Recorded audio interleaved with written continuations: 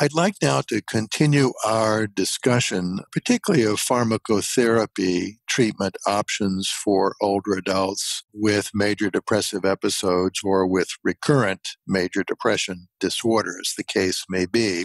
The centerpiece of this part of our time together is a suggested antidepressant algorithm for older adults. There are several guiding principles here. First, we are always trying to tailor treatments to the specific needs of our patient. Talk about personalizing treatment. That really means tailoring the treatment to the specific needs of the patient, as well as taking into account their values and preferences. So, in this context, although it seems obvious, we don't retry a drug class, for example, SSRIs that have already failed an adequate trial. If we have questions about the adequacy of the trial, we may retry it at that point. Obviously, also, we're not going to retry a specific medication if there is good evidence that the patient was previously intolerant to it or it poses a safety hazard based upon our medical evaluation of the patient. We do like to try a specific medication that worked previously, although we are aware that with each succeeding episode, the risk for an incidence of treatment resistant depression increases. We are also mindful about drug interactions and known risks. And this is particularly the case with some of the older tricyclic antidepressants. There is a place for the tricyclics, and I'll talk about that momentarily. Finally, we emphasize the importance of giving an adequate trial, which for us means at four plus weeks at an effective dose and maximizing the dose as tolerated before augmenting the primary medication, augmenting it with another agent, or switching it to another class of antidepressants. We also are strong proponents of the use of depression specific psychotherapies particularly cognitive behavior therapy, interpersonal psychotherapy for depression, problem solving therapy, and behavioral activation.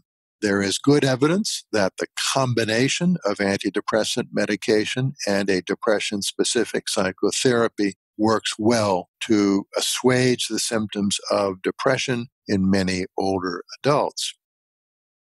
In terms of augmentation strategies, my colleagues and I have published the largest placebo controlled augmentation strategy, RCT, using aripiprazole. This was published uh, with Eric Lenze as the first author in The Lancet in 2015. And we found that the use of aripiprazole in doses of 2 to 15 milligrams daily was effective in relieving depressive symptoms and bringing about remission in patients who had failed to respond adequately to adequate antidepressant doses of Effexor, up to 300 milligrams for up to 12 weeks. Quetiapine is also another agent in this category that may be useful for an augmentation strategy. In patients who've not responded to augmentation or switching, we think that there is a third tier in our algorithm or our set of strategies. We might switch them to the use of nortriptyline, for which there does exist abundant evidence for its efficacy in older adults when steady state levels of 80 to 120 nanograms per ml are achieved or for augmentation with lithium carbonate. There may be a place in older adults for ketamine or esketamine, but this is not yet well established in older adults to the extent that has been established in midlife adults. And of course, we also will use various uh, neurostimulation techniques such as transcranial magnetic stimulation or ECT the latter, particularly in cases of psychotic depression or in cases where suicide risk is acute or imminent. Let me summarize a few key points as well about the pragmatic usage of these different compounds. Usually, when we talk about acute treatment, that is to say, a treatment that is directed at the acute episode of depression with the goal of bringing about remission, short term or acute treatment typically lasts on the order of 12 to 16 weeks, but may last as long as 24 to 28 weeks if a second or third line agent is used the important principles of acute phase pharmacotherapy in older adults, though, encompass the time honored adage start low with respect to dose, go slow, but go all the way.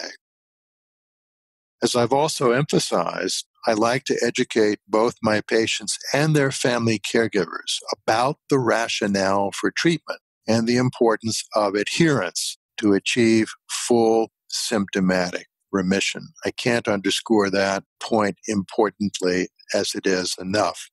If a second augmentation agent is needed, maybe aripiprazole or lithium carbonate or quetiapine can be used.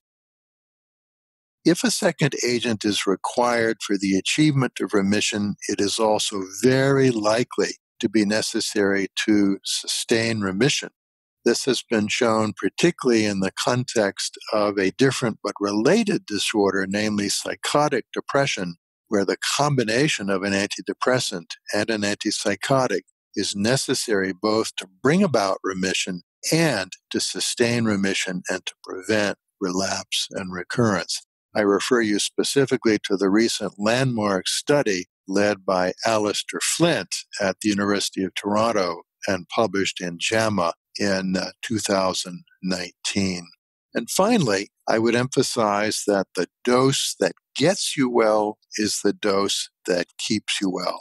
In other words, a common error in practice is that dosage should not be decreased once remission is obtained. Doing so puts the patient at higher risk for relapse into the current episode or recurrence of a new episode. I generally recommend against the use of things like St. John's wort, omega 3, or SAMe because I'm not convinced that the evidence is strong and because in some instances I'm concerned about drug drug interactions. I've also generally not used fluoxetine in my practice because of its long half life. I prefer agents with shorter elimination half lives like sertraline, escitalopram, or venlafaxine and I would emphasize that again, that a past history of good response to a particular medication may provide useful guidance for treatments of a recurrent episode after being sure of treatment adherence. So to summarize the key take home points here, First line antidepressant pharmacotherapy in older adults with major depression consists primarily in this day and age of selective serotonin reuptake inhibitors and selective serotonin norepinephrine reuptake inhibitors, as well as bupropion. Secondly, an adequate trial is defined in terms of an appropriate dose of medication taken for a sufficient period of time in order to make a reliable judgment about its effectiveness.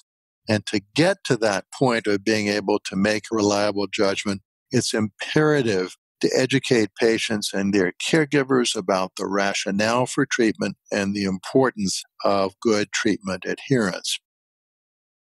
Non responders will need switching to another class of medication or to a neurostimulatory therapy like ECT, partial responders may benefit from either switching to another class of medication, to augmenting the first medication with the second, or to the addition of a depression specific evidence based psychotherapy like CBT, IPT, problem solving therapy, or some form of behavioral activation. Thank you.